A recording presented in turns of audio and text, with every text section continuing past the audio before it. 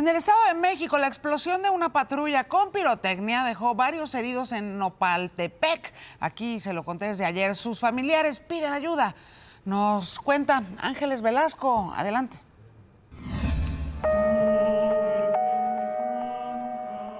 Su amor a la Virgen de Guadalupe hizo que, como todos los años, Hugo Pastel, de 25 años de edad, acudiera a la iglesia de San Felipe Toltitlán en Nopaltepec, en el Estado de México, para festejar a la Virgen de Guadalupe.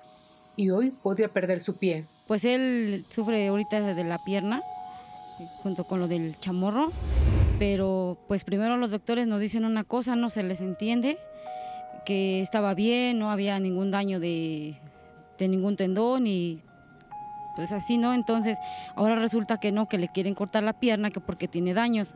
O sea, no nos dan una explicación pues fija. Entonces nosotros ya estamos hartos, ya queremos saber algo a dónde llevarlo. Junto con Hugo en el hospital de Ajapusco hay dos hombres más, Carlos Alberto Delgadillo López de 18 años y Ángel Morales de 57, quienes también acudieron a la procesión cuando por un cohete estalló una patrulla que transportaba los juegos pirotécnicos.